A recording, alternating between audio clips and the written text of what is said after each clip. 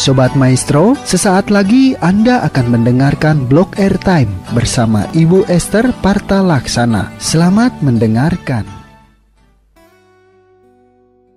Shalom Sobat Maestro, selamat malam. Ya, kita bertemu kembali dengan saya Esther melalui 92,5 Maestro FM. Kita bertemu dalam acara Malam Teduh 15 menit yang membawa perubahan. Nah sebelum saya sampaikan renungan malam hari ini, Maria seperti biasa kita mulai semuanya dengan bersama-sama sepakat dan sehati di dalam doa. Mari kita berdoa. Tuhan Yesus yang baik, terima kasih Tuhan karena dari waktu ke waktu, dari hari ke hari, setiap saat Engkau Tuhan yang selalu memelihara hidup kami. Kami selalu bersyukur atas kasih dan kebaikan-Mu yang terjadi dalam kehidupan kami. Malam hari ini Tuhan kembali hambamu engkau perkenankan untuk bisa melayani. Pakai lidah dan bibir hambamu ini untuk bisa menyampaikan apa yang menjadi isi hatimu Tuhan. Biar setiap yang mendengar, mereka mengalami perubahan di dalam engkau. Jamah dan urapi setiap kami Tuhan. Biar pengurapanmu yang membuat kami mengerti apa yang menjadi isi hatimu lewat firman Tuhan yang disampaikan malam hari ini.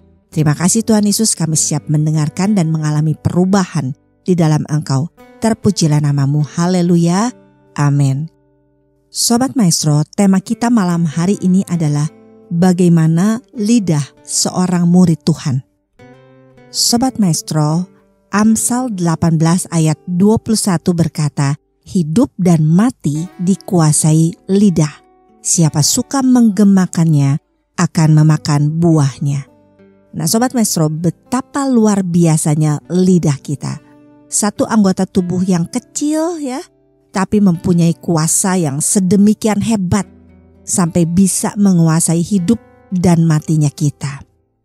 Sobat Maestro, lidah kita, perkataan kita itu dapat menentukan seluruh arah hidup kita. Dengan lidah, kita dapat mengucapkan berkat atau juga kutuk, Sobat Maestro bisa menjadi kekuatan atau juga kelemahan. Dengan perkataan juga bisa membuat iman kita bertumbuh atau juga malah tidak percaya. Dapat menjadikan kemenangan atau kekalahan, hidup atau mati Sobat Maestro. Nah Sobat Maestro, sejak kita dilepaskan dari dosa, kita tidak boleh lagi menyerahkan lidah kita kepada dosa, amin. Tapi kita harus terus menerus menyerahkannya kepada Tuhan sebagai alat kebenaran amin. Hal ini Sobat Maestro tidak terjadi secara otomatis. Dan kita tidak mampu mengontrol lidah kita dengan kekuatan alami yang ada pada kita Sobat Maestro.